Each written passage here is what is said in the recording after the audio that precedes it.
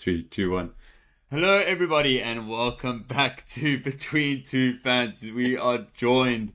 Uh, it's Daniel Scholtz. That's me. Uh, Stevie P. Uh, we have got a absolute humdinger of an episode for you today. We've got the Bokke who played Wales. We've got the URC final. The Bokke have also picked their squad to play versus Ireland. Who's been snubbed? Who's in? Um, we have the we had the Super Rugby final this weekend, um, as well as England playing Japan um, which seems like uh, it's just a, a distant memory at this point. Then we move on to the Euros um, and what is happening. England currently playing now. You'll know the result of this already, but you know what is happening there. Who are the teams to beat? Um, a couple upsets happening in the tournament, but you know who's going to really progress to past the round of 16. And then, of course, the Cricket World Cup, we've got the Proteas lining up for their semi-final versus Afghanistan on Thursday morning, sharp 2.30 a.m what did the Super 8, I think was the name of it, what did that entail? How did the Proteas get through? How have we always got the most stressful way to get to the final? Stevie, welcome. How are you? Yeah, tired. Still flipping, trying to catch up to sleep from watching the Proteas take how many hours to sneak past the West Indies into that semi final. Um, yeah, it's been, a, it's been a tough watch this this T20 World Cup. We'll talk a little bit about it later. But this whole like finishing a, a Euros watch long and finishing work at like hop past eleven. By the time you're in bed, it's like hop past twelve. Yeah, tosses at like two in the morning, and you're like, it's, it's too dangerous to go to sleep. It's uh, it's been a, it's been a long week, and uh, it's gonna get a bit longer on Thursday morning. But uh, Springbok season is back, so I cannot complain. I cannot complain. I can try, but it'll be pointless because there's just no, not that much to complain about, to be honest. We don't, we don't, and grateful just to be to be watching the Proteas. You know, early in the morning, yes, but to be watching them at this stage of the tournament, final four. I mean, it's a semi-final. Well, it's the it's, I'll it's, never, it's the I'll stage we always them. get to. Yeah, I'll never forgive them for making me wake up. I think it was three when we started that um, when we played in uh, New Zealand. We played against New Zealand all those years ago, and I think it was 2015, and that that heartbreaking yeah. semi-final loss. And waking up at three and watching until about like one hoppers one two in the afternoon, and then losing. So yeah. at least it's well, been two let, late nights that's been worth it. Stevie, let's not bring in um, those somber thoughts. Only only positive energy going into this podcast. For those who are new, we do a little prediction show around here, and we pick three games um, from the week to then um, predict on for the weekend. Stevie, last weekend, um, and currently the score is 10 10. We're in a race to 15, and the loser will have to wear a sports shirt of the winner's liking. For example, I am thoroughly looking forward to giving Stevie an Arsenal shirt to wear for a couple of episodes because that's what I intend to do when I get to 15 before him. It was 10 10 going, um, going into last week, and Stevie bet on Bulls Glasgow, Netherlands versus France, and the Euros and Proteas versus England. Um, let's start with Bulls Glasgow. We're not going to get too much into the game because we'll get there in a little bit. But Stevie, the end score, spoilers, was Glasgow winning that game 21 points to 16, a five point win. We actually predicted the same amount. We both went Bulls 8, and I allowed you to change. And actually, no, it's a lie. I changed. I went one down to Bulls by seven which gives me the win. So I go 1 0 up this week. Then we go to Netherlands versus France. We both went for a you know high scoring game. Myself, I went for the old Desmond 2 2. You went for 2 1 Netherlands. It ended with a humdinger of a 0 0, um, meaning that I got that, having predicted the draw correctly. You were a little bit unlucky because of that disallowed goal from um, Simons. And then the last one of the week. So that takes an unassailable lead. So it's really 11 10 celebration time. But let's move on to the last one: Proteas versus England. Um, we beat. This doesn't actually make a lot of sense, by the way. The more I'm looking at it. How so? Okay, well let, let me get it out and then explain to me your why you're complaining. And I'm glad it's a 2 0 lead now because you have an issue. But South Africa beating by seven runs. My prediction was an eight run win or three wickets. Yours was a 10 run win or two wickets. So, I mean, one run off you got to give it to me there. So I, I'm I'm very interested to hear your, your complaints. No, it just doesn't make sense that I went with a bigger win via runs, but a smaller win via wickets. Like it's a bit of a weird kind of like thing. Let, let, kind let, of go, you know, it's it's kind of because basically we kind of basically what we're really trying to do is we're going like South Africa by five points. What does that look like runs? What does that look like in wickets? So it, it, it, makes us look as if we've really analysed things. If we reckon, like, well, you know what? If we're chasing, it'll be a bit closer. Have you not? Have you not? uh, explains the scorecard. 11 10 uh, Skulls. Okay, okay. big. Well, um, can I, can I, but, so, so when we, when we lose, if, if, if you're off on Thursday, then I'm I'm expecting a, a, big apology because you obviously put a lot of analytics into this. Um, I have seen your entire review of the Afghanistan history of cricket for the last 15 years and why, uh, where we can exploit them. So I'm looking forward to that analysis as well. Yeah, absolutely. And let's also just not try to apply logic to, to cricket or, or sport for that for that matter. Um, you know, predictions or I mean maybe not in this occasion because in this occasion I was absolutely dead on, but you know, as a general rule. Um, Steve, let's start off. First Bok game since winning the World Cup, what felt like five years ago. Correct. Um, Bokke versus Wales. First half 13 14 up, only one point difference. You know, a bit sloppy from the Boks, giving away a couple penalties, went up early, um, but Wales getting a try back. But the final score ending 41 points to 13, not conceding a single point in the second half. Um, first of all, let's get your overall thoughts on the game, and then we can go into a couple talking points about the the newbies, calling them. Yeah, I think it was in in looking at retrospectively, it was kind of the game we almost sort of expected to a certain degree. Um, I think if you told me that you know, first game of the season against a team that has already played five matches this year. That the Boks uh, had some good moments, but then were a bit sloppy, a bit slow, but sluggish, and then sort of kicked into gear in the second half and kind of eventually ran away because on paper they were a far superior side. The scoreline and the way it kind of played out does make sense.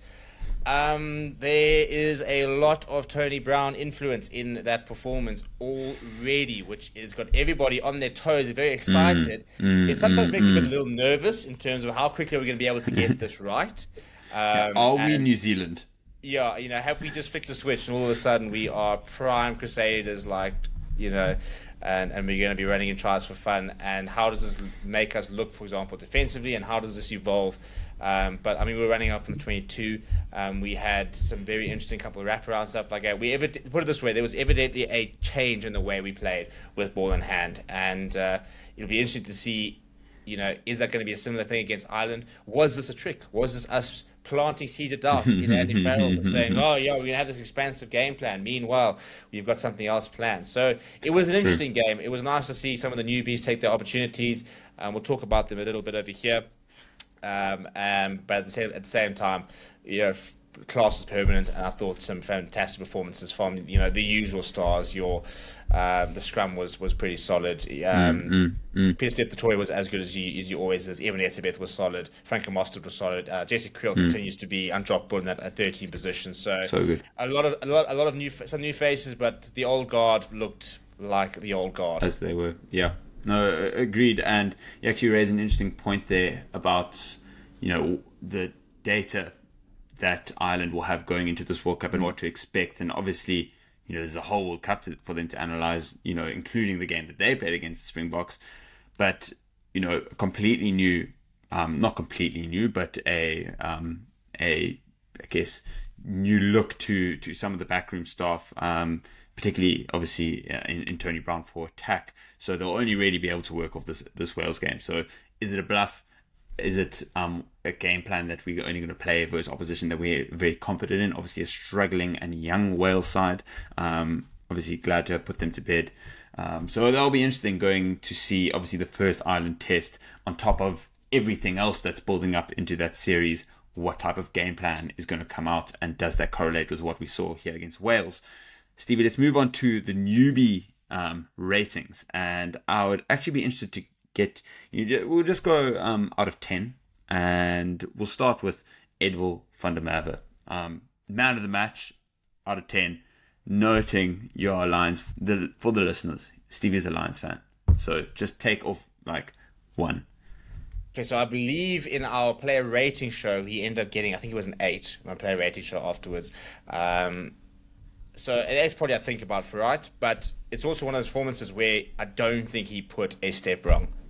You know, yeah. um, you know, you probably find, you know, could he have done more? Yes, in terms of if he had more opportunity, he could have run more. If he had more tackles to make, he could have made more tackles. But I mean, when he, he scored his do... try, he had to come to the middle of the park to receive yeah, it from to, the scrummy. He's bored. He's like, you know what? Just, I'm sick of the shit. Just I'm waiting for my debut try. yeah. Where, like, where can I get the ball? Yeah, he just, he just, he just walks over and says, "Just hit me. Um, yeah, no, we, we, we, are preaching about this Tony Brown, you know, attacking options, getting the ball out wide, and maybe and that is Tony scoring. Brown. Tony he Brown, to, he's reinvented. He had to come the first whole, receiver.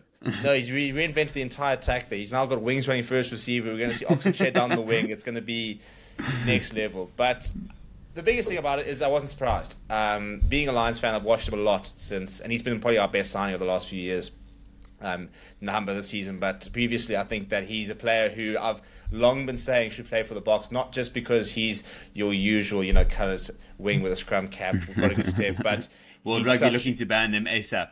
Yeah, correct. But he's just such a he's, he's got he's got a genuine all round game. He's such a physical player. I think that's something that people don't realize is that I've watched this guy sit down forwards. If you've seen that mm. tackle he made, uh, I forget who it was against, but the player was basically diving over the try line, and he just yeah, grabs him and basically that? just said no and dragged him all the way back. I mean, the strength he's got. So mm, for me, he was mm, always a Springbok in waiting and always looked the part. Um, I think that we the, the rise that Kurt Arendse had in the last 18 months could well have been Edwill van der Merwe. Um, not saying he's going to replicate that kind of um, uh, you know performance, but he for me he's, he's, looked like a Springbok for a long for a long time and um, looked the, so looked so the part. I mean, if you watched him on Saturday next to a JC Kriel or Makazole Mapimpi, you'd struggle to say that he was the one on debut. No, absolutely. I'll completely agree with that out of 10. Let's move on to Jordan Hendrikse, who started at 10. Stevie? Yeah, I think a first half where he struggled, um, and he looked, and I mean maybe, and I'll be interested to know. Obviously, you were actually at the game and could see things a bit more sort of from a, a, a, a wider perspective. I felt in the first half he was trying too hard. Um, mm. I think he the, the, nerves definitely got to him. There's no doubt about that, and I think he was trying. I mean, you saw that, that, opening kick as well. It's not, not one that you usually misses yeah, and, either. and I was and I was saying, you know, I, I, would love to have seen what his performance would have looked like had he nailed that opening kick, um, mm. because I think that would have settled him straight into the game and said, right, cool, I've got my test points. I'm like, now I now I can play. Yeah. But he looked like someone who was trying too hard, and there was a marked improvement in the second half. In the 15 min, 15 20 minutes he did play um, where I think they basically just told him, relax. You know, we you, mm, you are mm, a Springbok mm, now mm. already. You're going to go out there, just play your game. Don't don't complicate things. So I felt sorry for him because I think the occasion got to him a little bit. Um, I think the reaction people have had to him has been really really poor. Um, I think that one criticism I will level towards not just South African fans but fans in general is that we are so quick to slay players and bin players after a bad performance. So that's been a bit disappointing. Uh, out of ten, I'll probably give him a, a five. Um, defensively, he was perfectly sound. He doesn't miss a tackle. Um, yeah. He had Mason Grady running at him, which is not exactly. Uh, I mean, it's like I mean, Andre mm. Esterhuizen from a size point of view, yeah. and I don't think he took a step backwards. So defensively, he was classed. He had a couple of decent. I mean, that one um, conversion up against the touchline was very good. Um, so yeah. he had some nice, nice goal kicking. So good moments, bad moments, probably more bad moments. But yeah, um, yeah I don't think Listen, he's I mean, too worried. We, we, did we did mention last week as well. He was quite a surprise selection at mm. ten, right? He hasn't actually played as like that much ten. He's not like he's worn the ten jersey the entire season for Lions and come into it off being like one of the best players in, in the URC.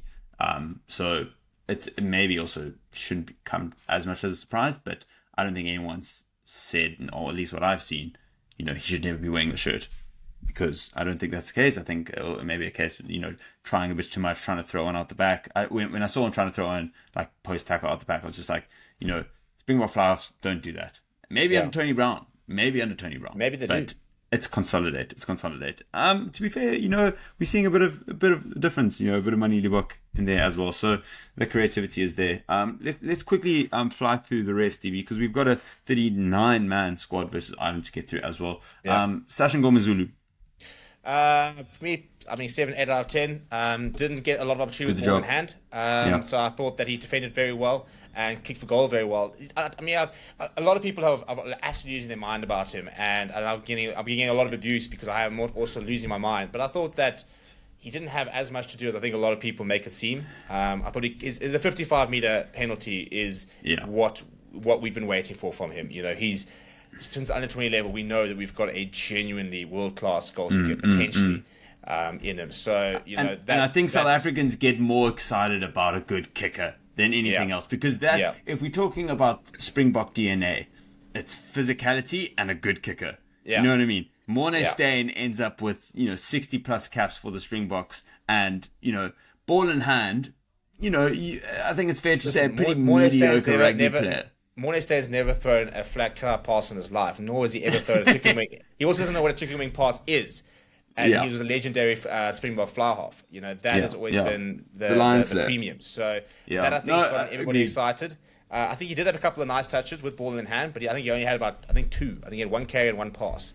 If you look we, we know he's we know he's also very creative with ball in hand, Yeah. right? So there is So- that side to him. Yeah, Um, that's why everyone is- everyone looks at him as the as the as the future because he's got the Pollard esque ability to Hmm. kick for goal. He's got the Manie Libbok kind of style with ball in hand, and he's got that physicality in defense as well. So he ticks every single box, and there's a Yeah. reason. There's good reason to be excited about him. Yeah. I just always advise caution when we're talking about 22 year old because Hmm. he will not always be at that level. Yeah. He will have bad games, and we need to understand that this kid has not actually played a lot of rugby at the professional level. He's already had a couple of, of games where he struggled for the Stormers. So, reason to be excited 100%. Is he the finished product? Not yet, and we need to allow him to become the finished product, and then we'll be, all be fine. I think the exciting part is he's taking a very similar journey to what we saw Damian Willemse to take. Maybe Yeah. Damian Willemse took a bit more um, responsibility at the Stormers than Sacha has at this and was age. three years younger.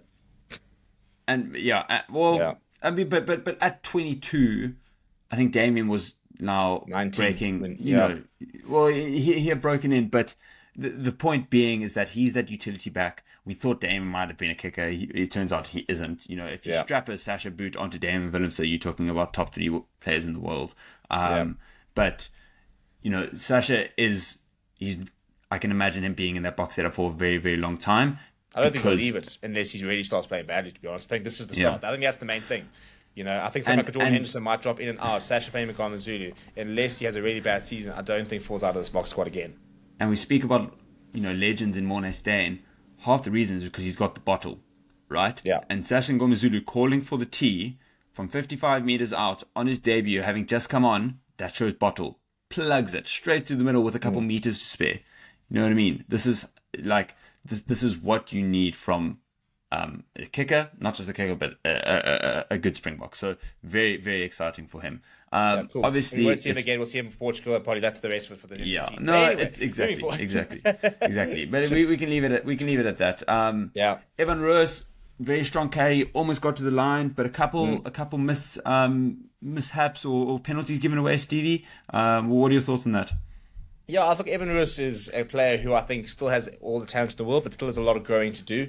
Um, it's probably for me about a seven out of ten. I think he carried very well. I think a knock on was a bit frustrating, and, and those kind of moments, those are soft moments, for example, which I think for me separates your Duane Vermeulens from everybody else. Because you know those are the mistakes that your best players in the world don't make, and that's what he needs to start you know working on. But I thought it was a much better performance than um, than we have seen from him in, in, a, in a block jersey. He's going to have an opportunity against uh, Ireland. You know he will have the number eight jersey, so I think you'll hopefully he'll take a lot of confidence out of that. Um, there's definitely areas where he needs to improve, but give him a bit of space and a ball in hand, and he's devastating. Um, and the Boks need to try and find a way to do that against Ireland because you know there's no point having him in number eight and not playing to his strengths. Yes, he'll need to adapt to the Boks system, but also let's find a way of un- unlocking the Evan Roos that won carry. the the, Yeah. the the URC Player of the Year two years ago. Exactly, exactly. Aphelele Fassi, um, yellow card, a little kung fu kick um, as he was taking his flawless high balls. Stevie, So look, Rusty Russ made an interesting point saying, without trying to take anything away, he wasn't under pressure for a lot of the kicks, which he Hmm. wasn't, and it's fair. But at the end of the day, you you know, you it's not his fault that he wasn't being put under more pressure. yeah, Um, yeah. so- you, Aphelele Fassi. Yeah, you you did know. not get contested. That was rubbish of you. Yeah. What the hell were you thinking? He didn't put a foot wrong. Um, I do think he was lucky, and I've gotten a lot of criticism for this. I do think he's lucky. I think that the more you look at that, his leg comes up at a very weird time. You look at where his eyes are, for example, and it's also a technique issue because if you watch the He was going in similarly with that swivel, moving he does legs do towards the Yeah. player. So it's going to get him in trouble. That's why, like, when people are saying, "Oh, but he was off balance," no, because it's not an isolated incident. You know, mm-hmm. it is the You way do- he does it. So he has to. if He you has, the he has to TMO, tweak that. Yeah, and if you have the TMO, the TMO is oh not the TMO, the the, the linesman is actually advising against the the referee um, against the card at all, and actually saying it was a complete it was a rugby incident. Um, I think it was the right call in the end. You know, it, it, it, clearly not purposeful and or malicious, which but It's one and, and it's one of those that you don't see often. I remember if you go back a couple of years, we saw But we have, Barrett we have seen it a couple of red in Super yeah, Rugby, and and he got a that was an, but that was an ugly one. That was Yeah. in boot in face. You know, Yeah. lucky this one lower neck, like more collarbone region, but definitely one to look at technique wise. But listen, if you're catching it, that's the fundamental thing. Yeah. And So that's, and that that's the you know, flawlessly. the, fact, the fact that he's catching is the main thing. I, I don't think it's difficult to, to tweak the technique so he doesn't get into trouble with that again. Um, You know, it's he's been retained by the squad, so the, the Boks do obviously Yeah. rate him. Um, Yeah. I don't think we'll see him against Ireland. I mean, but I think we'll see him against uh, Portugal. So um, it, for me, a, a successful return to life in, in the Springbok jersey for him. Absolutely. I mean, you wouldn't be surprised when you saw him in the camp to be one of those that didn't make it to to the next round, um, just because he hasn't been able to take his opportunities previously wearing the Springbok jersey, but he absolutely did this weekend. So well done, Aphelele. Let's quickly touch on Ben Jason Dixon and Kunu. Um, I think for me, you know, kind of job done, I guess. Yeah, I Didn't mean, for instance, took not much to do for him. Um, I, think that he'll be a bit of a bit part player. He's already been sort of dropped down to the um, the the standby list. Um, Gerard Senecamp's got the kind of the run in there. Um, and BJ Dixon for me look comfortable at test level as I thought he would be. Um, I can understand why it's it's a very unpopular decision. But I can understand why the Boks have him in the squad ahead of an Albert Lowe. I think for me, he just ticks everything that the Boks Wow. want to see.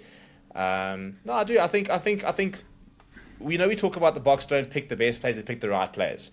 Um, and I think he is in the, the Springbok mold to a T. Um, he doesn't miss tackles. Um, very, very physical. Um, very hard worker from a, hitting his rack stuff like that. You know, doesn't have the same ball carrying prowess as an Elrigh Louw, but I think that's Pieter Toy doesn't have a ball carrying prowess, Yeah. for example. Yeah. You know, and we've we've never had a genuine replacement for Pieter du Toit he's our genuine replacement for PSF the toy, Yeah. and he looked looked very comfortable. Very tough for him. I'm a big fan of him. So so long may that continue. Well, Stevie, that's a good segue into this 39 man squad for the Island series. And let's just touch on a, on a couple things first. We're not going to go through, I mean, the whole list because I don't think that means much to, to anyone. No one can retain 39 people in their head, never mind nine. Um, Plus the but- 14 like extra list and stuff. yeah. Um, but the big one is no captain named, Stevie. Yeah, those Jess, I'm, ch- I'm, I'm, chatting to Rassie tomorrow. There's a press conference, so you can be sure that I will be asking what the situation is there. He did say in the last press conference that he will be announcing a permanent captain. Um, so obviously, it's not come out with the squad, whether it'll come out tomorrow, whether it'll come out next week. Um, What's interesting is before Siya was made captain, I remember Irvin actually captaining the Boks for a couple games, and but it wasn't like a, a book and captain announcement. Yeah. I wonder if, I mean, I don't understand why, but maybe it's Irvin coming in. Irvin's just the obvious choice, right? He, if we want to have a South African based captain, he is for me. He, he he- he's the most likely to be at the next World Cup with experience as a captain at, at both club and, and country level. Guaranteed starter, you know, Yeah. w- came second, I think, in the World Rugby Player of the Year. Uh, I think I'm right in saying. I don't know. I don't know if they announced but- it second, but yeah, it was was well nominated but- for it. Yes, and and ticks as many boxes. I mean, personally, my personal opinion is actually keeps here, and I think that might be controversial to a lot of people. But I think it might because happen, if be you honest. change, you change. Everyone says you change the. You know, you're setting a precedent now for for in the future. Now the Springbok captain is just going to go overseas, and it doesn't matter. Okay, I don't mind if a Springbok captain goes overseas after winning two back-to-back World Cups. Yeah, let the them precedent. go. And a British Irish That is the precedent. So if that's the, if that's if that's if that's the Yeah, I'm right, totally listen- fine with it. Yeah, if if they're sitting down tomorrow and say, all right, listen, um, Salmaan Moerat, we are making you the next Springbok captain. You're more than welcome to play outside once you've won the 2027 and 2031 World World Cup as well as the British and Irish Lions series. Then you can go play your rugby for um, you know in Japan. Yeah, I just think Siya makes sense. He he is the lifeblood of this team. He, I mean, you should have seen the stadium when Yeah. he just got put on camera for about two seconds. He he actually ignored the camera because Jordan Hendrikse was lining up a kick from forty meters away. He had to play it down, and it's like you can't express. You know, this is just from a fan expense. Uh, um, I mean, you know, you, were there you were, you were there in um, in Marseille even during the World Cup and when they go when they, when they announced the the, the, the players It's and I mean, every single time you hear Siya Kolisi's name being mentioned, it is it's it's difficult to to convey just how loud, mm. how many, how much people absolutely love it. It's bad. I always find that that whole announcing players thing very interesting to hear the fan yeah, favorites. Yeah, sentiment wise. Makazole Mapimpi must be one of the most popular Springboks mm, of all time. Mm, mm, yeah, and also adding to his try record, what a game he had, by the way. Jeepers, I mean, it doesn't matter when we have wing injuries, as many as we have mm. had. You just look at our depth, and oh, he's just so good. But completely Stevie. I, I, mean, the only person for me who could even live up to that could be Etzebeth. I mean, he's gained a lot of public favor in the last, you know, five years. He, you know, everyone knows that, and everyone knows that him and C are incredibly close, which helps with that transition if there were to be one. Um, so for me, it's it's between them two. Um, if you if Rassie is you know keeping a, a hard nose by that South Africa has to have a captain that plays in South Africa, go for Etzebeth. Otherwise, keep Siya. Yeah, uh, the other options that will, uh, I mean, Pieter-Steph du Toit's up there. Bongi Mbonambi has been mentioned as, op- as other options there. I don't but think there's anybody. Pieter-Steph's playing really. in Japan. Yeah, that's what I'm saying. So you know, if he does break the rule, for example, um, then then yeah. Pieter-Steph du Toit can come into it. But I'd, I'd be very surprised. Um, mm-hmm. Yeah, I don't think there's too many other options to be fair, and we all know it will be a forward, for example. Um, yeah. So yeah, the the big thing for me, uh, looking at the squad, as we mentioned, Jasper Wiese is included, despite the fact that he basically won't be playing until about mid August. Um, I think that's because Jasper Wiese sold all his homes in SA. Um, I think he sold the farm, and so it's like, so yeah. So he phoned us and said, "Listen, I'm not part of the squad, like I'm squatting out here, dude." So I'm gonna go back to Leicester. yeah. Leicester, but sorry. You've got two options: either stay in London or you just put me in that squad and I stay in the team hotel. So good on, uh, good on, uh, on Jasper yeah, for, very, for, being street, street smart there. Um, definitely can't afford an Airbnb with the pounds that he's been earning over the last few few years. Um, so that's a bit of a weird one. Uh, the big surprise is Jan Hendrik Wessels, who is the third choice hooker and the third choice loose head at the Bulls. Uh, or it could even be the fourth choice loose head. Barely played, actually hasn't played loose head this season. Being included despite Apparently not. you can though. Yeah, yeah. And rumor has he played there at, at schoolboy, which is basically just an excuse to get him somewhere before they just give him the ball. I mean, he's unreal with ball in hand. He really is. We all know this. Um, for me, that's kind of where it stops. Um, I don't really particularly rate him as a hooker. I think his throwing is a bit uh, sketchy, and I don't think he's a particularly good scrummager. Um, I don't think we're going to see him in the next couple of tests, but this is a project, isn't it? This is this is this is Daan Human and Rassie looking at a, a, player and saying, "We reckon that player is going to be special. Therefore, we're going to yeah. put him in here, and we're going to turn him into something special." I mean, correct me if I'm wrong, but was he in the matchday squad for the Bulls in the URC? No. So no. why wasn't he in the squad up until now? Why wasn't he well, with? Like, Bulls, was, Bulls, why wasn't he um, Mpilo Ngumede? Because uh, because the Bulls decided they didn't need Mpilo Ngumede, whereas they potentially needed him. Uh, that whole Ngumede thing for the Bulls doesn't make sense. It doesn't make sense. There's a lot, yeah. something must have happened as far as I'm concerned. Uh, the question um, marks there. Big, big you know, for example, marks. you can sit there and tell me that oh, we wanted the experience in Nizaam Carr. Great. If in the injury in the warm ups on Saturday, you know Nizaam Carr pulls his hamstring, um, you're not going to have to go find some random to you to play it at flank. And oh, you know, well, we didn't actually need a Peter Ngumede. No nonsense. He was never in the frame to play. It's the only reason he would have been released to the Boks. Yeah, no, it, it, it is very very bizarre. Um, but let's move on, Stevie. Once again, just like the World Cup, four scrum offs. Faf, um, Morne van den Berg, obviously your your Lions mate, um, Grant Williams, and Cobus Reinach. Yeah, I mean, Cobus Reinach is an interesting one because he's obviously included, but um, not getting uh, any younger. younger. He's 34 years old, um, so I don't think he makes. I mean, maybe he can make the World Cup. I'm 38, he can. Um, but I mean, he's always been the, the, the de facto starter if Faf and uh, Jaden Hendrikse haven't been has, has on fit. Uh, he very rarely comes off the bench. Um, I think Morne van den Berg's going to play against Portugal. I, I, mean, just from what I've seen in, in the Bok training, you know, every single time they're warming up, he's working with Zwide Stick. Um, I actually caught a bit of a glimpse of the training when I um, went to a Bulls press conference because it was at Loftus and they were training on the field and uh, they were running and he was running at scrum half. I think they I think they look at Morne van den Berg as a as a genuine option. Um, so I think they've gone with the keeping the standard, you know, World Cup mm. options. Um, but I think that they look at him as the future scrum half alongside yeah. Grant Williams and uh, and Jaden Hendrikse. Uh, I mean, he, he, he is the full package. He just he looks very complete um, mm. from what we've seen of him at the Lions. Let's talk about those who were snubbed, Stevie. Um, the the one that a lot of people are speaking about is Wilco Louw, who didn't make it, versus Thomas du Toit, who did. And Thomas du Toit being really the only overseas player to burst back into a squad um, out of this. Obviously, there is no um, Augustus or Tyrone Green.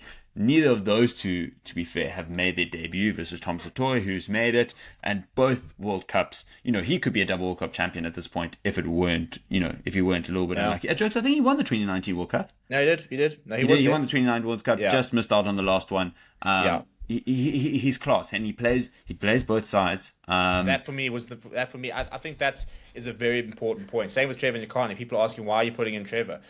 Two things. First of all, we don't have Steven Kitshoff. I don't know if anybody else has realised that, but we've only got you know we only had two we haven't got a recognised loose heads. Uh, and one of them was Ntuthuko Mchunu. So we need, I think that at the moment, Ox Nché starts against Ireland, and we need uh, a replacement loose head. I think it's one of Trevor or Thomas du Toit. Thomas du Toit Mm. was one of the best players in the Premiership this season yeah, um, helped turn that Bath side into what they were, and it was part of the Bok squad a year ago. He's been part of this Bok squad for a long time.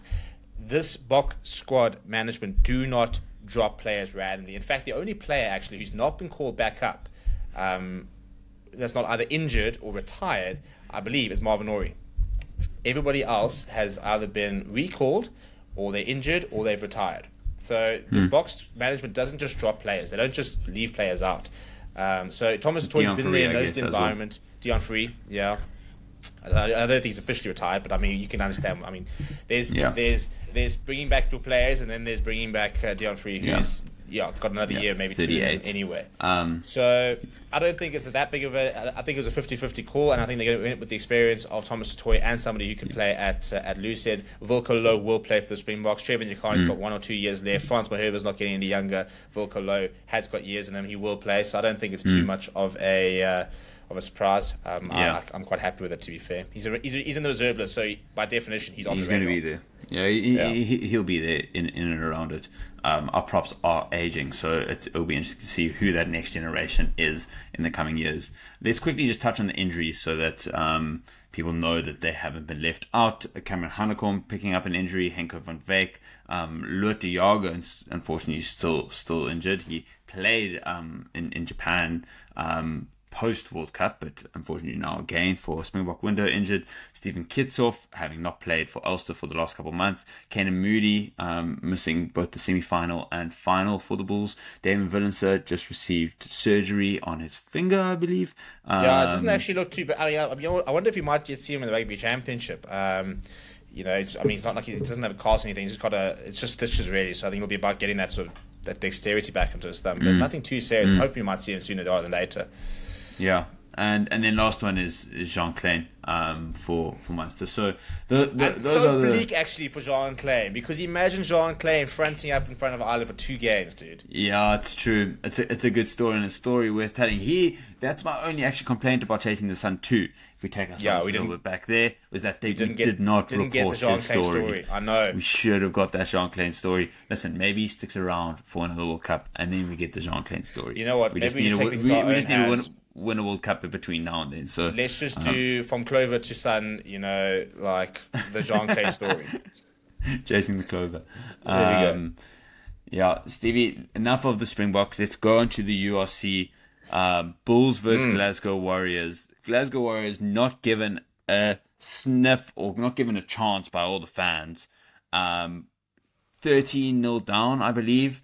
And I, I mean, I had this on the laptop whilst I was watching the Barbarians, so I was Yeah, you know, in between in between places, as it were.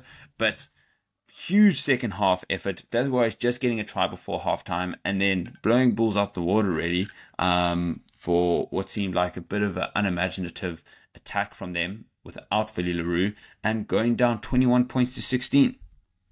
Yeah, listen, it's not too many teams that you watch bully the Bulls, and they were bullied. Um, you had Marco. I mean, I was watching Marco van Staden, nicknamed Eskom, like bouncing off of tackles backwards, and like the the the the, the physicality on display from Glasgow was mm. immense. That Apparently trio, Bulls, Bulls 41 missed tackles, Glasgow mm. 16. yeah, no, they they just decided they just rocked them and thought, you know, if we do, if we, we we've got to tackle. Like our lives depend on it, and, and we win this game. It was it was incredibly it was impressive to watch. To be perfectly honest, as much as I'd love to have seen Bulls go on and, and get the victory, you watch that performance and you think uh, you can't not admire the performance from Glasgow. Um, and and I'll tell you what, there was a moment where Bulls lost it, and Cameron Hanekom and Sione Tuipulotu had a bit of a, a, a scuffle on the ground, and Cameron Hanekom did the standard like. I'm watching you, like, come here, like, let's do it. And, and just laughed it off. And I watched that going, that's it. That's it. There it is. when you see those, when you see those moments, and uh, Tuipulotu, also who had a fantastic game, by the way. Uh, when you see those, you see one He's player who's saying "come at me," and the other one who's significantly smaller laughing at him, you're going, mm, Mm, mm, mm. that sort of shows you that the, the Glasgow Glasgow always had the belief, and I think that was that was that was the main thing in the end. And and first off, that's what it takes. The only way of beating this bull side was to front up physically. You are up against it. You know you're up against it, and you have to want it more than them. And I do think that the Bulls were. We saw a little bit of what happened to the um, Boks versus England in that semi final. That emotional draining, having beaten like the team of the tournament in Leinster in the semi final, and having to pick themselves back up. And what everyone else told them was a Leicester opposition. And whatever you say um, about you know trying to ignore external um, noises, you internalize that, and you hear everyone telling them that this weekend is going to be not as big of a challenge as last weekend was. And if you won last weekend pretty convincingly, as everyone said, then why wouldn't you win this weekend? And and to an extent, I think it was that. And then the next big one for me, as mentioned earlier, Willie le Roux, massive, massive miss. Look, I mean, Devon Williams had a great game as well. You know, this is not too. It's. I mean, he, I thought he was actually really, really good. Very different player though, completely. Mm, Um, you know, very good counter-attacking player, plenty of pace. and Doesn't just. Yeah. You know, they just they missed No, that. he's quality. playmaker. Nothing Um, against Devon Williams at all. No, it's but- just does he is he the puppet master that Willie It's, it's the same. It's the same No. thing. The issue we had in the Boks, though. It's the same thing. You know, you- Damian Willemse. You had this issue where you wanted to play Damian Willemse at 15, but you lose out on the creativity of Willie le Roux. And Hmm. Damian Willemse has had to has had to add that part of his game, but at the same time, that's why Libbok has unlocked Damian Willemse because he's, you've taken away that responsibility. So Hmm. it's it's nothing against anybody that plays. Willie le Roux is a very unique player. Um, first, I think two things I want to sort of raise. First of all, I think Jake White talking about the referee at the end of the game was very, very poor. a lot of it that he was it's, sort it's of that ugly dismissing. side of Jake White that exists within him now. It's it's it's It was two not, things with the referee uncommon. chat, and it was talking about you know the, the the Scottish internationals and how they can't compete because you know they don't know the depth, and they don't know the depth. But as a Lions fan, I don't exactly look at the Bulls and think, oh yeah, shame, man. They really don't have quality. They've only got Jaco van der Merwe coming Yeah, off yeah. the bench. They've only got the Scotland capped Jaco van der Walt in the system that doesn't play. They've They only also just have the whole Springbok back three. They just you know a couple of them And- they were they were injured. Two of three of them were injured. So who you- is a Springbok in the past, and Yeah, uh, yeah, they've got Marco van Staden in that pack. Next to Albert Lowe, he's going to play for the Springboks, and Cameron Hanekom is going to play for the Springboks. No, they- they're just fine. He is a Springbok. They're they, just they fine. were, they- they've got a good squad. They've probably got the second best squad in the country. Um, so Yeah. and uh, one thing I would like to just shout out though, the piss take of Glasgow Warriors and the way they celebrated that final. That Yeah, whole, that photo with the what um, Uh, the- does the altitude, altitude. altitude doesn't Yeah. matter. I love that. I absolutely love that. You But know, and you and- have to you have to it. You give do. them that, right? you you how often are you winning tournaments, let alone away, you know, to the. Bulls when everyone writes you off? And fair play to Glasgow Warriors. Probably, I think it was like a one percent chance of winning. Um, as, as they went into the um, knockout stages, you know, beating Stormers at home, which at the point I think everyone was kind of pipping Stormers to win that. Storm, Yep. you know, put them aside. Beating Munster away, no one gave them a chance in that. And we speak about like championship winning teams, they nullify that Munster team into like they just had nothing in them to give. The Yeah. exact same for the Bulls. Bulls have been very creative, very high scoring team, just nullified that attack. And um, you have to say they deserve it. And now the URC has a South African winner in the Stormers, an Irish winner in Munster, and a Scottish winner in Glasgow Warriors. it's phenomenal. And I think it's I think it's unreal. What what a league. Correct. And uh, shout out to Ryan Wilson as well, who I think is still drinking brandy in Pretoria and is still going on his, his like four day bender. Yeah, Um, also saying he's pulling a John Terry with the full kit wanker. He thinks he's still a player, bro. Yeah, in, in fact, to be fair, yeah, he's, he, was, he was about to walk onto that stage and take his medal. But I look to be fair, though, he's a he's a legend. Um, so, but and, and I love seeing unashamed like, well, we I just want- we just we just won the competition. I'm going to celebrate with the I, lads. I can say whatever I want now because next season it doesn't matter because I've won this season. yeah, yeah. Even even if he's been he's long long retired, but um, Yeah, no, Yeah, uh, good- it, good. it was great. Fair enough. That, that I think they're still on a bender. To be fair, um, Stevie. Speaking of finals, let's quickly touch on Super Rugby Pacific, and it was the Blues, who um, smashed the Chiefs, 41 points to 10. Chiefs not really getting a sniff in. Um, their first Super Rugby title in 21 years. Just a bit of history, and I must um, thank MB5 Plug on Twitter um, for this one. But just to, in, in a quote, in 1996, Eroni Clarke scored for the Blues as they beat the Sharks to win their first Super Rugby title. 28 years later, Caleb Clarke scores a hat trick in the final. Some things are meant to be, call it destiny. And unbelievable hat trick from Caleb Clarke, a really good season for him coming back. And um, it'll be interesting to see if he makes it into this New Zealand squad, which has recently been announced. Um, but Stevie, I want to get your thoughts quickly on Rieko Ioane's quote yeah. mentioning a Super Rugby title above a World Cup because of how much I love the city, how much I love this club, um, how much I've admired this club. He told Radio New Zealand. I can see what he's trying to say, and you know, he's, he's been asked, you know, does this, does this? I think, I think, I don't know what the, his question. I'd imagine he's been asked, you know, does this make up for the World Cup? And he's basically gone and said, oh no, you know, this means mm-hmm. so much more to me. Yeah, nice try. At the end of the day, he wouldn't have sat there with the Webb Ellis in one hand and the Super Rugby in the other hand, going, this is the one. The, like Oaks breaking into my house, and I'm defending it. I'm, I'm handing over the Webb Ellis to say, "Here, you guys take this one because I want to keep the Super Rugby Pacific as well." By the way, yeah, you know, it's it's come on, nice try, Rieko. Um, yeah. But no, agreed. I think I think it's like it's half of it's out of context, it's half of it is like burying a little bit of hurt. Yeah. Um, let's quickly touch on the New Zealand squad, Stevie. And big one is that Scott Barrett has been named captain ahead of Ardie Savea. Um, and as Ardie of Jordie have been named vice captains. What are your thoughts there? Because personally, as if I could pick one person to play for the Springboks that doesn't represent South Africa, it would be Ardie Savea because I'm such an Ardie Savea fan. So yeah, I'm gutted for him. Yeah, and I think he'll be upset as well. I think there's also a certain amount of. I mean, for example, I had uh, I disagree with uh, Lima Sopoaga's assessment when he said, "How does the best player in the world, because that's what he won last year, not become the captain?" Your best player is not always captain. I think it's no, the big thing that, for me. That, that's, so I think that's that's, that's simplistic. Yeah. Um, I don't mind. I'm not overly surprised. Scott Robertson doesn't know Ardie Savea like he knows a, and, a Scott Barrett. And, and you know, speaking of which, we're seeing Crusaders nepotism no. Yes, I don't understand. Again, people are like, "Oh, there's too many guys." What were people expecting? Like, he's oh, one. Oh, I disagree. I think. I no. think.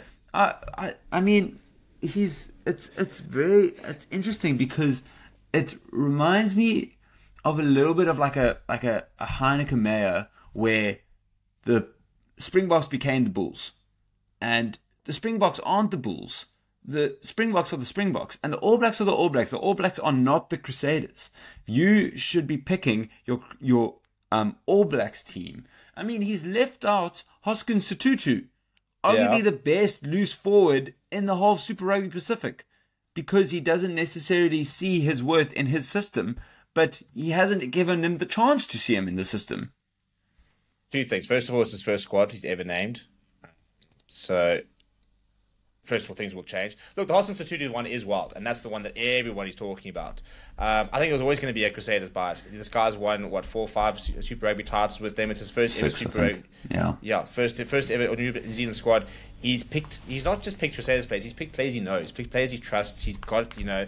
If he's not implementing a system, and you go and bring in players that you know. For example, Rassie Erasmus elected Siya Kolisi as captain. Rassie Erasmus knew Siya Kolisi backwards when he made mm. that decision. He went and found someone that he, yeah, yeah, and, and, and, and had a lot of history there. Um, so I think it's it's very natural. I mean, Steve Borthwick, for example, is, you know, was is, is I think was as well. You know, picked a couple of players who some people might say they're going, oh, should it be? But at the end of the day, you've got a style of play, you've got a system you want to play, and you're gonna you're always going to gravitate towards players you know and players you trust. It's a bit like the Boks not picking players outside the squad. You know, they've kind of put together the squad and they're like, okay, well, these are my guys, you know, and all of a sudden it doesn't matter that yeah. that certain that uh, Low has a sensational season. They're not going to drop their guys for him. So uh, look, I think at the end of the day, it's his first squad. He's it's his first few games over here. Things will change, but he also I think is very aware that. New Zealand and All Blacks are expecting. Look at what happened to Ian Foster. He had one bad season and everybody wants him out. He got to a World Cup final. You know, so I think he's also very aware that the expect, expectation is that New Zealand will run out next week and be world beaters, that they will beat South Africa, mm. that they will be back to the greatness that they are overnight. And so I think he's gone with the safe option of bringing in players he knows, players he understands, and because I think that that is going to be the quickest way for him to to get to the highest level that he believes he can be right now, and then probably look to try and bring more players in the future as they sort of then build on that. Yeah, I mean it's a bit like questioning Springbok squad selections. Like these guys, they you have no reason. Their record doesn't give you a reason to disagree with what they've done, but it's just confusing as hell. Yeah. You know what I mean? It's just like why, like you, it's hard to logically understand it. But I mean, we don't know Razor as an international coach. It's going to be very interesting to see this England series. England um, on the rise recently, obviously blowout win versus Japan. Um, it'll be interesting to see if England get a sniff in versus them. Um, you know, big big rebuild um, from them. Obviously beat Ireland in the Six Nations, but yeah, I think I just think that Sotutu shout is is wild. I can understand Scott Barrett more than I can understand the Sotutu shout.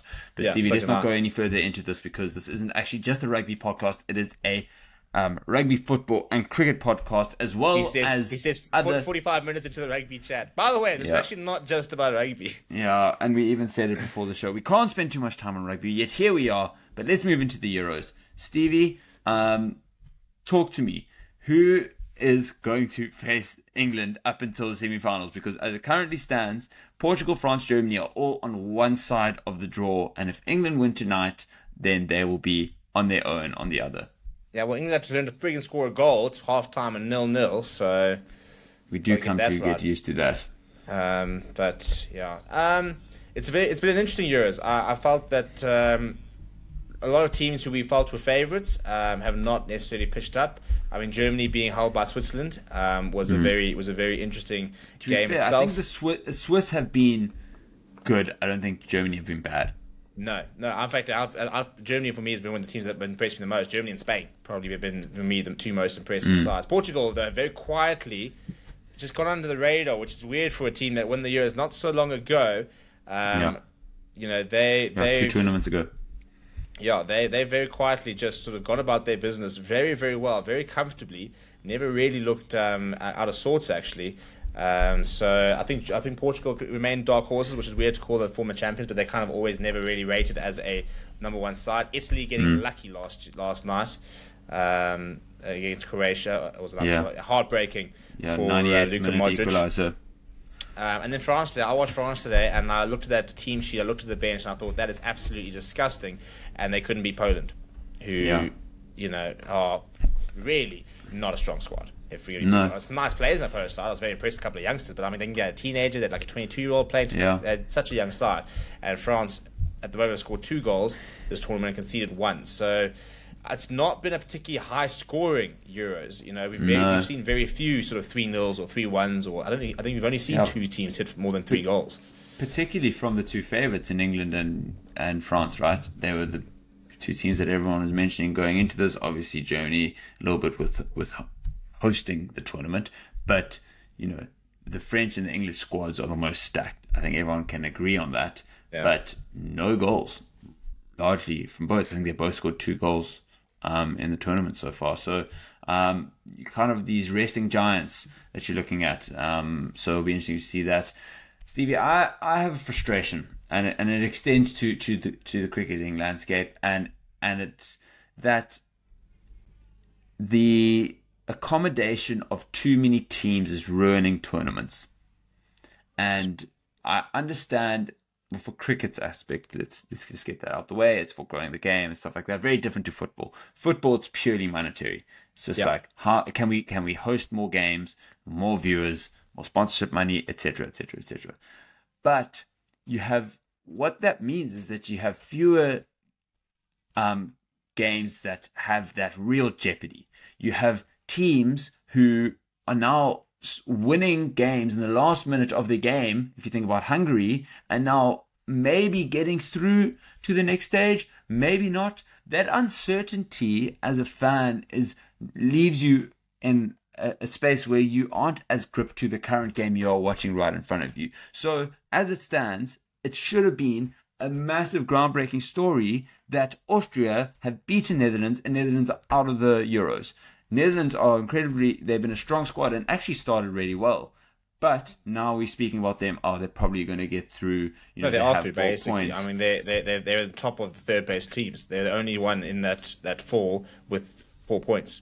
So it's very. Just- they're basically through.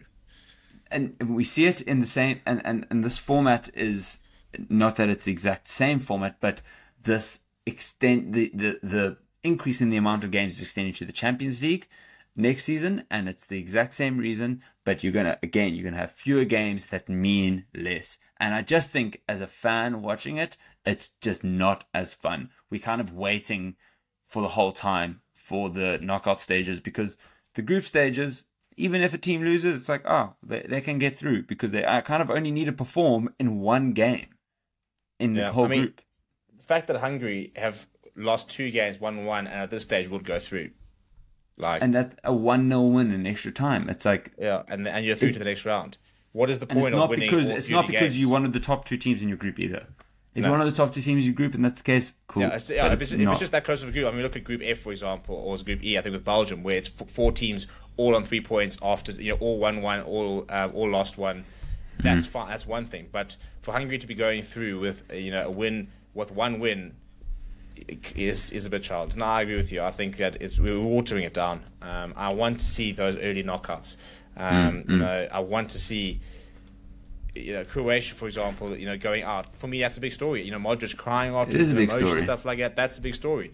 Um, they got But it's two only draws because they've loss. been that bad. It's, they, Yeah. They've been that bad that they've only got two points out of their three games. Yeah, they had exactly. to be that bad for a big team to be knocked out, and they're only big team really so far to be knocked out. And the point is, we don't know. You know, half, more than half of, um, you know, the teams have finished all their group stages games, and we only know like a handful of teams Yeah. that have actually been knocked out, which is just it's just a bit bizarre to me. Um, but you know, some big fixtures, you know, to to um, line up next week. The only round of 16 that's actually confirmed so far: Switzerland, Italy, struggling Italy versus a big um, Switzerland. Um, so um, it'll be interesting to see who fills in to to add to the Austria, Portugal, France, Spain, Ger- and Germany, um, and and who will you know finish up those matchups.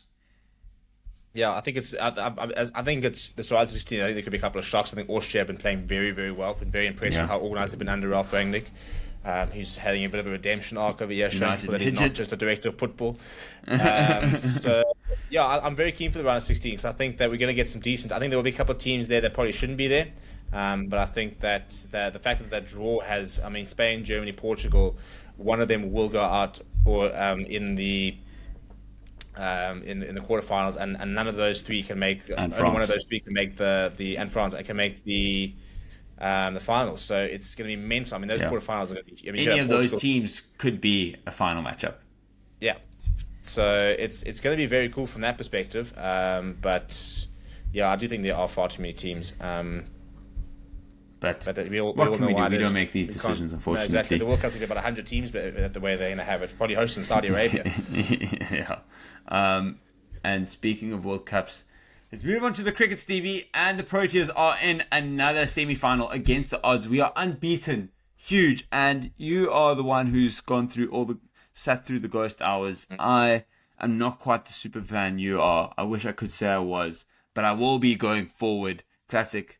Um, now that we're Yeah. in the, the real knockouts, we, we've had to, what's felt like had to go through five phases. It's only been two, but it's felt like five based on you know the amount of heart palpitations I've gone through throughout it. Um, but we are there, top We four. are there. It's not. It's not been easy. As I said, I'm yawning. I mean that. Yeah.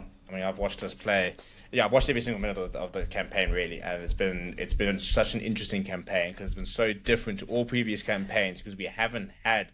First of all, a lot of easy victories. I mean, 18 runs versus USA, 7 runs against Yeah. England, 3 wickets versus West Indies. We made all of it look very tough. I mean, the way we bowled against the West Indies was unbelievable. Um, but it does, uh, it's, a, it's a horrible thing to put in the universe. This does feel different um, than previous World Cups because we're not coming into it with a, um, oh, Kobbie Mainoo's coming on for England. My day's just been made. We're winning the World Cup. We're winning the World Cup. Kobbie Mainoo's playing for England. The Boks are going, you know, Stevie, 2 you 0 just against ruined Ireland. a short. Carry on now. we'll get back to the clip there. Um, no, I think I think it, I think it does feel different here for for the um, for the Proteas because we've had World Cups where we've come in with a, an AB de Villiers and uh, a Dale Steyn, Hashim Amla, and we've and we've gone out at the first hurdle. We've had World Cups where we've come in um, and had some massive results, and we've fallen at the first hurdle. You know, we've basically virtually played what was almost three knockout games. We've won every single one of those games. Everyone is chipping in. Tabraiz Shamsi was dropped, came in, man of the match Man performance. match, yeah. People talked about Anrich Nortje not being part of, shouldn't he be part of the squad, has been one of our best bowlers. Mm, um, You know, Quinton de Kock, everybody's saying, look at the form he showed during the IPL, look at the form he showed now, shouldn't be, and look, and then look at the way he's, he's batting. Um, You know, the captaincy from Aiden Markram, he bowled four overs. He bowled himself four overs. Yeah, on the He, trot. brought in, he, he- he gave Kagiso Rabada a ball for the first time in the 17th over. This has been your best bowler for how many years? Yeah, So we're making some brave calls. We're playing some very, very impressive cricket under pressure. Yeah. And uh, I also feel we've got a squad where if there's an injury tomorrow and Baartman has to play ahead of a Rabada, I'm not panicking. of course. If there's an injury to the batter and Ryan Rickelton has to come in from the from the cold, he is coming from the cold. I think that's probably something we'd like to see him get an opportunity, but I think he's got the quality. So it's going to And need a I- big, big, big effort. But I, I do, I've got, I'm just feeling very positive, which is a nice feeling to have. For sure. And you know, you you take a gander at the you know top wicket takers and the top run scorers of the tournament, and you don't see any South African players, and it's a bit bizarre. But you know who has been the number one in his position is I think Aiden Markram. I think he's been the best captain at the World Cup, Yeah. and he's made such bold decisions. It's interesting because we've had a very consistent team. A couple only bowlers changing in and out, and I don't think it's been more than I don't think it's really been more than one change per game. So you're talking No. about a very consistent team, and but not necessarily being used, particularly obviously on the bowler side, in the same way. KG Rabada, We- we- we haven't got you know, very used to bowling lineup. opening. You know, like in like under nine cricket, where you say, right, here's the batting lineup, here's the bowling lineup. Yeah, yeah, yeah. You know, it's it's been so it's we've been so fluid with how things. button. Even the batting lineup, you know, we've seen Klaasen Yeah. going up early, we've seen Miller going up early, which Mm. hasn't really worked. Um, but they, they made those decisions. decisions. You know, Yeah. so it's nice to see that we are during the game. We've been very, uh, and Rob Walter has been criticised for being very uh, stubborn in the way he, he picks his team. I find the Rob Walter criticism a bit weird, given the fact that we I thought we We're overperformed unbeaten. in the last World Cup, and I think we're overperforming in this World Cup. Um, so, Yeah. but I think we're, Proteas fans love to complain. To be fair, um, uh, how many decades of, of disappointment does that to to a fan Yeah. base? But yeah, I think that for me is the exciting thing is the fact that we are being innovative, we are trying things, and uh, yeah, all the way, all the way. But Afghanistan are going to be tough. This is the side that beat Australia. Very, very tough. But the nice thing about Afghanistan, and this is why I'm, I've been so chuffed with the Proteas, is that you don't feel with the Proteas there's a single person that if they don't play well, we're losing. Afghanistan are a side you Yeah. you put the stars off on their day and you can get into them. Well, this is this is exactly it, Stevie. And you know, in my my in depth analysis of this Afghanistan side, to you know, bring the listeners up to um, you know, just a, a little preview of of this um, semi final that will be you know starting at a sprightly two thirty in the morning South African time. Um, so you know, set your alarm clocks for Thursday morning because it's gonna you're gonna be up early. and It's gonna be a long day. But the Afghan openers have been crucial. 281 runs from Gurbaz, topping the run scoring charts ahead of Travis Head. And in third, Zadran, 229 runs. Both inningses versus Bangladesh and Australia, I think they batted past the 10 over mark. So big, big partnerships and putting themselves in positions. And to be fair, a little bit different to um, T20 tournaments and something you wouldn't have seen necessarily at the IPL, but not being pressured into going at 10 and over. They clearly have an understanding of what they think is a pass score on the day, and they play towards that because I think that typically when you see, um, you know, these teams that only set, let's say, 140, and your openers are batting for you know 12 overs you're gonna you're gonna be frustrated with them because they're not batting but they've stuck to that they've said runs on the board has been the biggest you know most difficult thing to chase in this world cup and and they've been hard to come by. So their opening stands i mean not a single batsman has scored 100 at the world cup. And you know after seven games the highest run scorer is 281 you know if you compare that to the ipl you know he, he wouldn't be in the top 10 probably. So big two batsmen, and then moving on to the bowlers in the top five, they have Faruqi Rashid Khan, and Naveen ul Haq all sitting there um, with 16, 14, and 13 wickets respectively. So two seamers, and obviously Rashid Khan has been actually very handy with the bat towards the back end of the innings. Proper pinch hitter. Um, so they're a tough team to beat, and you know they're not. These aren't fluke wins. They are played Australia, who up until this point were the best team in the tournament until Afghanistan derailed them. No, I think it's a good side. As I said, you know, it's it's but it's two things. You know, first of all, it's a good side. It's definitely the side you would want to play. I mean, I'm picking Afghanistan every day of the week before I'm playing Australia. Um, but no, of course. they're, but they're but they're but they're also a side that we can't roll our eyes at. They are a good side. The nice thing is though is that you'll be Rob Walters telling you, or, or you know, or um, that bowling lineup, and you'll be looking at that, and um, I think it's um, Simons is our, is our bowling coach at the moment, and they'll be saying, "You get that early wickets." You know, if mm, you see mm, a mm, early, mm, you see a a, a Rahman Gurbaz go out in that first over, for example, you go ballistic, and Ibrahim Zadran goes out in the next over, you sit there going, "Right, what have you got?" Let's get through them now. And I think, and yeah. I think that's what we did so well against West Indies is that those early wickets. I mean, Nicholas Pooran came out, and we and we got him earlier. You're sitting there going, "I felt we didn't capitalize like we could have." but we took those big wickets early on, and from the from the get go, West Indies were on the back foot, and I don't think they ever really recovered. They they clawed themselves back into the game, and then eventually we got over the the edge. Uh, shout out Kagiso Rabada mm. with the the greatest cover drive of all time. Oh. Silky, but, silky. Did you see his dad's tweet? Yeah, his dad windows. said, "You know, shout out to all the broken windows. This one was worth it." I mean, every every cricketer or parent who has a, a kid who's into cricket knows the, the sound of that, that broken window of the ball smashing into it, typically the tennis ball. But yeah. Stevie, I want to tell you why this semi final is different. It's because when last did we play a semi final where our opposition didn't have a South African that could spoil the show? A nah, long bloody roots, time ago. There'll, there'll, there'll, be roots there, dude. I'm sure. I'm sure. no, I'm sure Afghanistan have nobody. They have nobody with South African heritage. You know, no New Zealander that's said over the pod, no um, Netherlands player. None of it. None of it. None of it. None of it. They can't disrupt no, no, our flow. Yeah, no, it's a good. It's a very, it's a very good point. Um, actually, the nice thing as well is, uh, and I threw this out there, and, and I was taken apart by Mr. Vetty. So everybody, if you follow on Twitter, make sure you go and do because he gives you a lot of in, insight. Um, Afghanistan have drawn with India, and they have beaten Australia, they've beaten England, they've beaten basically every single team at the World Cup that they've played. Gets you the one team at the World Cup that's currently played that they have never ever beaten or drawn in their history. South Africa. Yeah, right. We've never lost or drawn to Afghanistan. Well, shit better keep that record.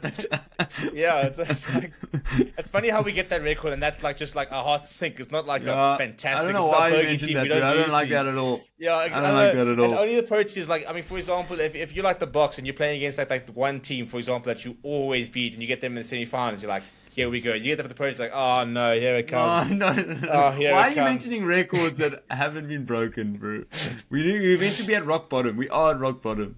Afghanistan are clear favourites. Everyone knows it. Yeah, it's spinning track. They've got spinners. They've got Rashid Khan. We stand no chance. Look at the stats. Yeah, how many? What, no what did we say? Five players, all in those uh, those uh, yeah. those rankings. Yeah, exactly. Two of the five best batsmen, three of the five best bowlers. It's it's yeah, it's, it's a no brainer, really.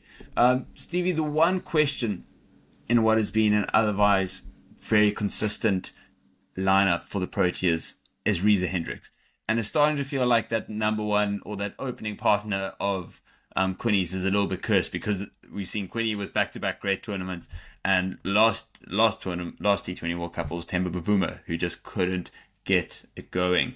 Um, and we've seen the same for Reza, just not playing as well as everyone knows he can be. Do you think that Rob Walters sticks with him, and do you think Reza Hendricks deserves to have a bit of faith um, from Rob Walters? Well, I know that he will. Uh, he's come out on base and basically said as much. He said that you know Reza Hendricks is a world class player. He said he's got such good records in the playoffs and that that scores around the corner. So we're not going to see a change. It will be Reza Hendricks on Thursday. Um, no Ryan Rickelton.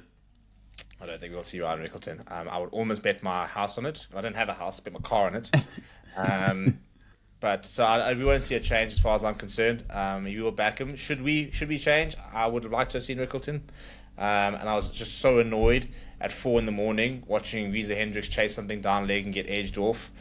Yeah. And I'm sitting It's, there. it's like, so mate, many silly nickels. like, He's playing around the ball the, the, the whole like- time, missing straight ones. It's it's, it's Yeah. very very uncharacteristic. and also not I, I don't know I, I have not enjoyed what I've seen from a, a body language point of view. For example, you know, wasn't looking to try and score um, against England. It was just very. I mean, I think Reece Topley was like had an economy of about two after those first two overs in a T Twenty in the power play, where you know you had to really, the, the new form of the game is you go after players in the power play. So uh, what I want to see if Reza come out on Thursday is you've had a crap tournament. First of all, go prove us wrong, thank you. But go and be aggressive, go and be positive, go out there and say, shit, it's not working for me. What have you got to lose? Because honestly, think- if I see him top edge, two sixes in a row, and then get bowled for the third ball, and he goes for 12 or 3, go for 12 or 3. Yeah, I'd rather you go for 12 or 3 than 10 or 20. You know, or 10 or completely 15. agree. I completely agree. I think Reese is one of those players you can typically tell what type of innings he's going to have by the first six Yeah. balls he faces. He's not like a Rassie van der Dussen who, you know, goes at about a run a ball struggles. For thing you know, about 15 balls and then he catches up. Reza tends to not be able to catch up having gone behind. So go for it from ball one. No one is, you know, you know, you're not going to receive any praise or blame clearly from your coach. You've been given license. Yeah, Travis Go Head is it. making a career out of that approach. Travis Head just goes out and says, Yeah. it, whatever. Literally, he is the definition of, yeah, fuck it. as is Quinny, as is Quinny de Kock, as Yeah. is Quinny de Kock. You know, laissez faire. Just it kind of just it comes and it goes, and we play cricket and we try to hit a ball, and you know, the consequences. are, you know, it is. So I mean, listen, easy to say from from an armchair, much more difficult when you are you know facing you know three of the five best tournaments at the bowlers at the tournament. But Correct. you know, let's. The point is, is that we, when he is selected, we have belief in him, and he can. We believe that he, we know what he's capable of, and we just want to see that unlocked. Correct. Up the Reza. Up Fully the behind him. Bloody Reza, let's go. Um, if you know Reza Hendricks, send this to him, please. Um, yeah, please. And I mean, Stevie, the big one we we touched on Aiden Markram as the captain earlier. A massive stat. He has never lost a game as captain at the World Cups. Under 19 captain, six from six, won the Under 19 World Cup with KG Rabada. 2023 World Cup, he won two from two before Temba Bavuma came back into the mix. And now at the World Cup, seven from seven. You know, most World Cups in you know a group stage format, you'd think you know seven wins from seven. Oh, that probably means you've won the tournament. No, we still got another two to go, and it's not because Could it's be, been round be robin. England and, win, and, win, and have won, what, four from seven and be in the flipping semi finals. yeah, yeah. I mean, it's it's really been Duckworth Lewis stocks have never been higher. Yeah, They, correct. they, they are. Um, I've never seen, I've never heard it um, repeated as much as it is now, and yet we're still in the tournament. These things cannot haunt us now, Stevie. Um, No. You can guarantee it that I'll be up early though. Yeah, Two thirty you know, my- no, you. 1:30 my time, you 30 yeah, 2:30 your time. I'm gonna phone you and make sure you're up. I don't want this, this bullshitting next next week of you having watched the live replay like ten hours later, then pretending like you went through the emotions. I went through the emotions that, you know, waiting as you open, you know, the tab in the morning, sort of the alarm, and looking at the notification. That is those seconds of the refresh button actually giving you a result are, are enough to just it, it just brings back memories of of Netherlands and and I I put it out there lit a, lit a couple candles the night before just you know in prayer and it seems to have worked this time I'm not going to leave it to prayer I'm going to be watching Right. Well, there we go. Cool. Well, looking forward to it, Dan. Um, maybe we'll do Instagram live on the on the Between Two Fans. Uh, um, yeah, Instagram account. You can sit the both of us in bed looking absolutely terrible, just lambasting Reza Hendricks because where's his form been as he bangs hundred off twenty balls? Yeah, no, exactly. And Stevie, it's come to um, that part of the show where we do a couple predictions. Let's start off with South Africa versus Afghanistan, as we've just spoken about. And I think we can probably do both of the semi-finals, given it's a World Cup. Um, There's also there's also very little sport to try and predict, given the fact that there's no. I mean, we've only got one Euros match confirmed um, for the weekend, and there's no rugby. that is true. Well, we'll go on that one Euros match and two cricket matches. How about that? Yeah, we're going about the only sport we know is confirmed for this weekend. What's the horse racing look like? yeah, exactly, exactly. Well, let's start, uh, Stevie. South Africa, Afghanistan. Um, as mentioned, uh, early early, early in the morning. I think nine thirty local time. Um, how how do we fare? Have you have you got a, a number in mind? We'll start with runs. I do. I do. Okay, I'm ready when you are. You count us in. Okay. Three, two, one. Eight. Proteas by 12. 12. Come on, the lads. I was gonna go bigger. You know, I was gonna go like twenty. I don't know why I went so the- far down. it- it- it- I it's so panicked a little stupid bit to go big, big with this, the way this tournament's gone. To be fair, um, Yeah. Mm. almost just almost just irresponsible. Yeah. Okay. Well, let's go wickets. Uh, you ready? Yeah. Okay. I'll count us in. Okay, I'll go for it. Okay. Three, two, one, four. Yeah, yeah. I knew you were going to go four. 'cause I was about to go four. So, So I'll, I'll go five. Um, okay, you go five. No, that's a massive Convincing. shout. That might, Yeah, that might be I our know. biggest. That might be our biggest one of the tournament. You know what? At the end of the day, I, I will not apologize for backing my boys. Uh, not apologize apologize. for it. Absolutely nobody. Um, Correct. Okay, awesome. Uh, ma- mam- mammoth, massive, Mammoth. massive semi-final between India and England. Uh, I guess Mm-hmm. more typical names you would have expect going into this World Cup being in, in a semi-final. England being defending champions. India with a point to prove, having lost the um, you know 50 over World Cup final last year. Stevie, do you have a prediction in mind for runs in that one? I, I do. Okay. I will count us in. Three, two, one. 18 India. runs. India. Who's you, who you going with? Yeah, Yeah, about to India. India, India, India. Yeah, yeah. Whoa, whoa. Is that Yeah? 18? Well, well, you haven't even said a team. I said 15. I said India by 15. Okay, yeah, I said 18. Cool. Okay. Um, Then let's move on to um, wickets. Um, I'll count us in. Three, two, one, three. Ah, okay, I'll move. Four. Okay. I think it's bad. Pretty close, pretty pretty close. Uh, but we've both gone the same same team. Well, so, at the end of the day, to be fair, this, we actually could we could probably just phone the right person and find exactly what the result is going to be, seeing as it's been completely fixed and is already confirmed for the tournament where the venue is going to be um, at a time which is going to suit the Indian audience in the most spin friendly f- pitch of the tournament. But you know, yeah, it's from that, funny. you know, it's funny that it suits England neutral. and India. That they're not particularly powerful, strong cricketing boards in, in the global scene. Well, It's- it's- to be fair to England, they didn't really have much of a say. If they if they had just had different results and uh, topped their group, they would have been in the other one. But India having their predetermined semi-final venue as well as time is just phenomenal. Yeah, But anyway, no, let's uh, not go into we- that. You, you do come to BCCI expect it. have, have, have, have powerful friends in powerful places. The next thing you know, I'm going to wake up to some BCI mafia in my room. Yeah, well, Stevie may or may not be at the next podcast. Um, okay, well, and then we're going to go with the only round of 16 game we know confirmed, and it's actually it's quite an interesting one because it's Switzerland versus Italy, the defending champions versus the resurgent or the the you know a real surprise package that's been the Swiss, who typically actually have been playing well. Um, at, at tournaments, I mean, Granit Xhaka becomes a different beast when it, it seems that when he plays for Switzerland. So, Steve, have you got a score in mind for that fixture? I do indeed. Okay, well, so do I. Three, two, one. Two One on. Switzerland. One one. I'm going. I'm going one or Switzerland penalties. okay. Okay, okay, okay. I mean, I, I, genu- I, I'll be surprised if Italy beat them. They really looked bang average. Correct. I think that's uh, like the bang bang average is exactly how I could describe it. I watched them on, and I was just like, "Where's this Italian side gone?" You Yeah. know, I mean, just attacking wise, Yeah. nothing. We've both given them a goal, to be fair. So, not that bang average that, we, that they don't get a goal, but Yeah. no, that, that, that should be big. And I wouldn't be surprised if Switzerland even get past the round of 16 or the quarterfinals. I think they I Yeah. think they're a really, really decided tough team that. to beat. Yeah. Up the Stevie, that wraps up the show for today. Phenomenal stuff. Thank you very much. Uh, it's not just a, a Springbok podcast. We do other sports as well. We know our stuff around the other stuff as well. Maybe me more than you getting a couple more predictions, taking the lead to 11 10. Here we go. But, you know, we're alive and well. And there might not be rugby this weekend, but there's still a lot of sport. Well, there's there's under twenty rugby to be fair. The junior Boks are playing.